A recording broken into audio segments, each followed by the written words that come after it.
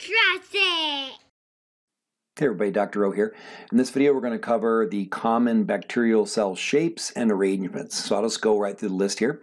Uh, so first we have a coccus. So a coccus would be the singular, cocci would be plural. That's going to be a round or a spherical cell. Uh, bacillus means rod, so technically the bacil bacillus can be used in two ways, like uh, bacillus is used as a name and as a shape. So it's like my name is Frank, right? So uh, Frank would be my name, but a Frank would also be a hot dog, I guess, right? So uh, um, so if you see bacillus and it's capitalized and it's part of the name of an organism, it's, it is part of its name, but it also is telling you that it has a rod-like shape. So coccus means sphere, uh, spherical organism, bacillus is rod. Next we have vibrio, so think it's, a, it's, it's technically a curved rod, but they look like a comma. So there's so many examples of, of the cocci and the bacilli that we'll cover them as we go. But the really only the key example of a vibrio that we're going to talk about very much is Vibrio cholera, the causative agent of cholera. Uh, next we have the coccobacillus. So these are actually short rods, but they're so short that they can look like spears. So they kind of they can be uh, misinterpreted sometimes. So a coccobacillus is a short rod. Quite a few examples here. Uh, important ones. Let's see, Haemophilus influenza, which is the can cause meningitis. Uh, Bordetella pertussis, which can cause which causes whooping cough. Those would both be examples of, of coccobacillus or coccobacilli organisms. Uh, next, we have the spirillums. These are rigid, uh, large organisms that are that are spiral or corkscrew shaped. Uh, not any really important clinical examples here, but I do want to point out that the spirillum and the spirochetes they're both examples of spiral organisms, but there's there's a couple clear different clear differences here.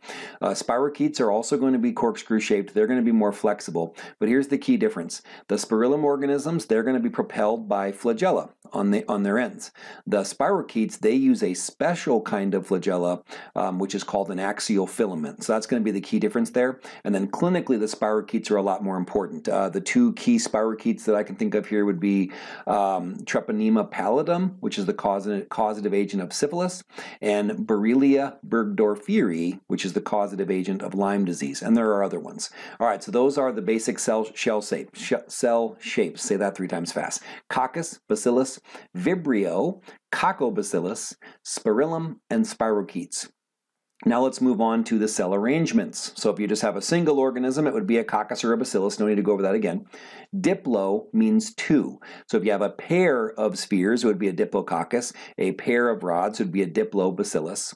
Uh, the most important diplococcus would be your streptococcus pneumonia. I know the name tells you it's in chains, but it's, it's a diplococcus most of the time.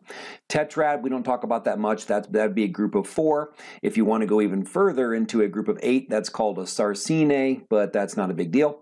Uh, but the two key ones here are strepto means chain, staphylo means cock, uh, means means cluster. Sorry. So you think uh, uh, so strepto and staphylo, and then coccus and bacillus. Most the organisms that we're going to talk about are going to need those terms to describe them. So strepto means chain, staphylo means cluster. Now notice here we have a streptococcus and we have a staphylococcus, but we do not have a staphylobacillus. So a streptobacillus is a chain of rods, but rods don't actually grow grow in clusters, and that's because rods grow end to end.